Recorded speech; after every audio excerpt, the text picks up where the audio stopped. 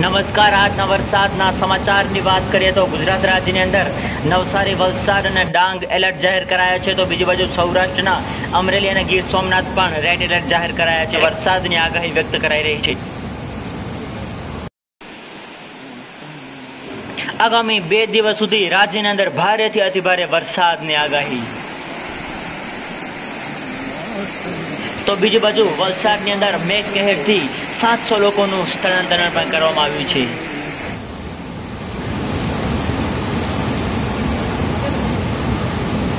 મળતી માહિતી અનુસાર ગીર સોમનાથ જિલ્લાની અંદર સાર્વત્રિક વરસાદ અને સૂત્રાપાડામાં ચાર કલાકમાં દસ ઇંચ વરસાદ, તળાળામાં બે કલાકમાં પાંચ ઇંચ વરસાદ. તો બીજી બાજુ ધરમપુરમાં ચાર કલાકમાં પાંચ ઇંચ જેટલો વરસાદ. આ સાથે સાથે બંગાળાની ખાડીની અંદર જે બને લો પ્રેશર સિસ્ટમ તે, હવે ડિપ્રેશન તેમજ ડિપ્રેશનમાં ફેરવાઈને તે સાયક્લોનની અંદર તબદીલ થશે કે નહીં તેની સમગ્ર નવી અપડેટ જેમ આપશે એમાં મેં તમને જણાવતા રહીશું.